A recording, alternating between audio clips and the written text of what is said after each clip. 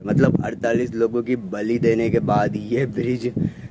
है guys welcome back our new blog और आज के ब्लॉग में जो जगह मैं आपको दिखाने वाला हूँ ना, वो जगह शायद आपने देख ली हो या उसके बारे में कभी ना कभी सुन लिया हो या ऐसा भी हो सकता है कि उसके बारे में ना तो आपने सुना हो और ना ही देखी हो। बट बहुत ही कमाल की और सबसे कमाल की वहाँ की हिस्ट्री है कि उस जगह को बनाने में मतलब कितना बुरा हादसा हुआ था उस टाइम पे। वो मैं आपको आगे वीडियो में बताऊँगा और जैसे जैसे हम वीडियो में आगे बढ़ रहे हैं, वैसे वैसे मैं इस जगह के बारे में आपको थोड़ा थोड़ा बताता हुआ चलता हूँ। गाइज़ आज का व्लॉग स्पेशल है, मेरे लिए ही नहीं, आप सब लोगों के लिए भी, समस्त मतलब सारे भारतवासियों के लिए जो जो भी भारत का नागरिक है ना, उन सब के लिए। क्यों? क्योंकि आज के ब्लॉग में मैं आपको दिखाने वाला हूँ हमारे भारत के विकास की, अभी तक की सबसे अद्भुत चीज़, जो भारत में केवल एक ही जगह पर है और ये अद्भुत चीज़ आपको मतलब अंदर से लगेगा कि हाँ यार मतलब अब हमारे देश में भी कुछ विकास हो रहा है, हमारा देश भी कहीं इस जगह तरक्की कर रहा है। वैसे तो भारत में बहुत सारा विकास हो चुका है और बहुत सारी चीज़ें हैं। हो सकता है इससे भी अच्छी अच्छी हो आपकी नज़र में, लेकिन इसके जैसी नहीं हो सकती, क्योंकि इसके अच्छी, इसकी जैसी नहीं है। ऐसा नहीं है कि फ्यूचर में नहीं होगी, फ्यूचर में हो सकती है। अभी मैं बात कर रहा हूँ, प्रेजेंट की प्रेजेंट में नहीं है। तो वो चीज़ मैं आपको दिखाने वाला हूँ और कमाल की वीडियो होने वाली है। तो आप सब लोग बने रहिए वीडियो में लास्ट तक। चंबल की घाटिया चंबल की घाटिया तो आपने बहुत सुनी होगी मूवीज़ में पर असली में देख लो ये है हमारे यहाँ की चंबल की घाटिया। वो असली घाटिया जहाँ पर बताया जाता है डाकू वाकू हुआ करते थे। देख लो ये पूरी मतलब वो चंबल की घाटिया ये पूरी चंबल है। आपको आ, शायद यहाँ से नज़र ना आ रहा हो अभी मैं आगे जाके दिखाऊँगा आपको। मतलब यहाँ से चंबल स्टार्ट है। ये पूरी वही चंबल है जिनके किनारे वो डाकू वगैरह रहा करते थे फ़िल्मों में उस टाइम पे। और राजस्थान का वो जंगल वाला इलाका, बीहड़ वाला इलाका जो बोला जाता है, वो भी गाँव में है वो अंदर। कभी अगर उधर मौका हुआ मिला जाने का तो वो चीज़ें भी आपको दिखाएँगे चंबल के किनारे की। फ़िलहाल ये चंबल का घाटी वाला इलाका है। मतलब जो घाटियाँ हुआ करती थी ना, चंबल के किनारे बड़ी बड़ी सी खाइयाँ, घाटियाँ वो वाला इलाका है और ये कोटा के आसपास पूरा इधर रावत बाटा की तरफ़ ये वही इलाका है पूरा। और जो डाकू दोस्तों आपने फ़िल्मों में ही देखे हैं, वो डाकू नहीं दिखाऊँगा मैं। आज मैं आपको उन डाकुओं की महबूबा से मिलाऊँगा। हाँ भाई, खाटियों के डाकुओं की महबूबा से। और अगर नहीं मिलाया तो आज के बाद कभी भी इस चैनल पे वीडियो मत देखना। ये क्या बोल दिया मैंने यार? इसको हटाने के लिए नहीं। नहीं भाई, अब कमेंटमेंट कर दिया है। अब तो इज़्ज़त का सवाल है। अब कमेंटमेंट कर दिया है ना? मिलाऊँगा देखो यार, अपन या तो कुछ बोलते नहीं और बोलते हैं ना तो भाई करते हैं। देखो यार, आपको बोला है ना कि आपको डाकुओं की महबूबा दिखाऊँगा तो दिखाऊँगा। तो गाइज़ ये रही डाकुओं की महबूबा, चंबल। इसको भाई जान से भी ज़्यादा प्यार करते थे वो जान से भी ज़्यादा। कोई अपनी वाइफ को नहीं करता होगा, इससे ज़्यादा प्यार करते थे, वो इसीलिए इसको डाकुओं की महबूबा कहा जाता है। और भाई मतलब पूजा करते थे इसकी पूजा, चंबल, नदी, ये सारा वही घाटियों वाला, अभी इधर से सीधा रावत बाटा की तरफ़ जाता है ना तो वो सारा घाटियों वाला उन डाकुओं का इलाका है जो आप फ़िल्मों में देखा करते थे।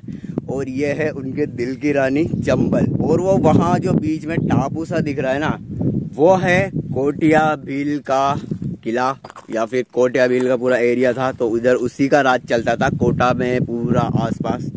और मतलब काफ़ी इंटरेस्टिंग हिस्ट्री है यहाँ की। और अभी फ़िलहाल इस ब्लॉग में मैं वो चीज़ें कवर नहीं करूँगा इस ब्लॉग में मैं वो करूँगा कि हम मैं आपको भारत की एक लोती नई जो न, नया निर्माण जो केवल भारत में यहाँ पर ही है कोटा में एक लोता। वो दिखाऊँगा। गए हिरन देखो हिरन। ये रहे, हिरन तो मुझे वैसे दिखते रहते हमारे घर के आसपास भी आ जाते हो। हिरन है, नहीं आ रही, हिरन नहीं है तो पता नहीं क्या है भाई। ये कौन सा जानवर है गाइस बताना। जूम करके दिखा देता हूँ एक बार आपको। हिरन जैसा ही लग रहा है। क्या पता जंगली हिरन हो या कोई दूसरा प्रजाति का हो। पानी पीने जा रहे हैं शायद। जाओ जाओ यार, हमको क्या मतलब है? जाओ भाई, जाओ। हम तुम्हें थोड़ी डिस्टर्ब करने आए हैं। हम तो खाली ब्लॉग बनाने आए थे। आपने हमारा ब्लॉग बनवा दिया। अब चलते अब बात करते हैं ब्रिज की। तो जो मैं आपको दिखाने लाया था, वो है ये। हमारा हैंगिंग ब्रिज देखो भाई। देखने में तो गाइज़ आपको ये नॉर्मल सा ब्रिज लग रहा होगा कि एक ब्रिज ही तो है, लेकिन क्या है तो इसके पीछे की, बनने की कहानी है भाई, बहुत ही मज़ेदार है। पता है इसका काम कब शुरू हुआ था? 2007 में। 2007 में इसका काम शुरू हुआ था और 2009 में यहाँ पे एक एक्सीडेंट हुआ था जिसमें 48 लोगों की जाने गई थी। कंस्ट्रक्शन के दौरान जब इसका काम चल रहा था उस टाइम पे तो उस टाइम पे क्या हुआ कि इस हिस्से से, यहाँ से और इस साइड से बनाते हुए ला रहे थे और इस साइड से भी बनाते हुए ला रहे थे। तो वो बीच में से यहीं से टूट गया था बीच में तो वहीं से पूरा नदी में चला गया था। नीचे पूरी नदी है तो इसमें चला गया था। तो उसमें, उस हादसे में कई लोग घायल हुए थे और 48 लोगों की जान गई थी। 48 लोग कम नहीं होते यार मतलब 48 लोगों की बलि देने के बाद ये ब्रिज बलि किसी ने नहीं दी थी। गलत मत ले जाना मेरी बात को। मतलब 48 लोगों की जान जाने के बाद ये हैंगिंग ब्रिज बन करके तैयार हुआ था। इतनी ख़तरनाक कहानी है इसकी। और हम लोग पहले यहाँ आया करते थे, लेकिन जब ये ब्रिज बना, उसके बाद से इधर कोई नहीं आता, क्योंकि इधर बंद भी कर रखा है। और मतलब पहले जैसा माहौल भी नहीं है। पहले बहुत मज़ा आया करता था यहाँ जब हम नहाने आया करते थे उस साइड पे। और गई वहाँ पर आपको नीचे से मंदिर सा दिख रहा होगा, उस साइड वो मंदिर उसके बाद बना था जब वो हादसा हुआ था ना उसके बाद वो मंदिर बनाया। मतलब दोनों साइड पे बनाया उस साइड पे भी इस साइड पे और इस ब्रिज में नीचे बीच में देखिए आप कोई भी किसी भी तरह का, कोई सपोर्ट नहीं है। पूरा ऊपर जो पिलर लगे हुए एक तो ये इस साइड और दूसरा ये इस साइड। इन पिलरों पे जो वायर है उन वायरों पे ही इसका पूरा वेट है। अभी हवा काफ़ी तेज़ है तो शायद हो सकता है आपको मेरी आवाज़ ठीक से ना आ रही हो। और इस ब्रिज को बनाने में 213 करोड़ रुपए का खर्चा आया था। और इसकी ये जो दूरी है ना, ये डेढ़ किलोमीटर की है। मतलब ये जो पूरा पुल है ना, ये डेढ़ किलोमीटर 1.5 किलोमीटर की दूरी पर है। लंबा है मतलब इतना, डेढ़ किलोमीटर लंबा है।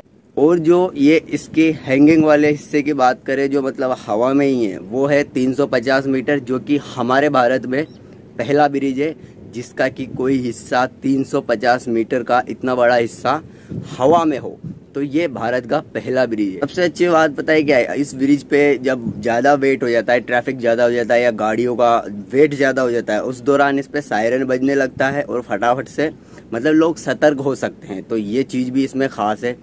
और बाकी ये जो पाइप्स देख रहे हो आप इन पिल्लर पे सॉरी इन पिल्लर पे, यहाँ पे देखो पिल्लर दिख रहा होगा आपको। इन पिल्लर के आसपास जो ये पाइप लगे हुए छोटे छोटे ये पाइप एरोडायनामिक है मतलब कि कितनी भी तेज हवा आए, इनका कुछ नहीं बिगड़ने वाला, बहुत ही मज़बूत है। यहाँ इनको जापान की एक कंपनी ने बना करके दिया जापान से बन करके आए थे अगर बात की जाए इसके निर्माण कार्य में तो आठ देशों का हाथ है। आठ देशों ने मतलब मिलकर के बनाया है। कुछ देश ने ये चीज़ की, कुछ देश ने वो चीज़ की। इस तरीके से आठ देशों ने मिलकर बनाया है। पूरा नीचे उस साइड पे, वहाँ पर, इस साइड पे यहाँ पर मलबा ही मलबा पड़ा था पूरा। इसका ब्रिज का और उसी के नीचे लोग दसे हुए थे, फंसे हुए थे, जो काम कर रहे थे, वहाँ पर उस टाइम ब्रिज बना रहे थे। यहाँ से, इस जगह से यहाँ से बारिश के टाइम झरना गिरता है क्योंकि पूरे जंगल का पानी इसी रास्ते से चंबल में गिरता है। तो बहुत ही खूबसूरत झरना गिरता है यहाँ पे बड़ा सा।